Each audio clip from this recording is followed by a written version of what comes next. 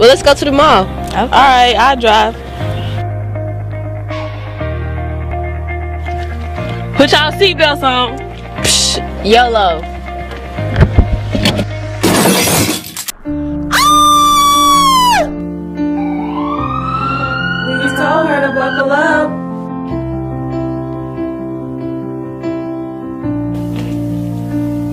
Always buckle up.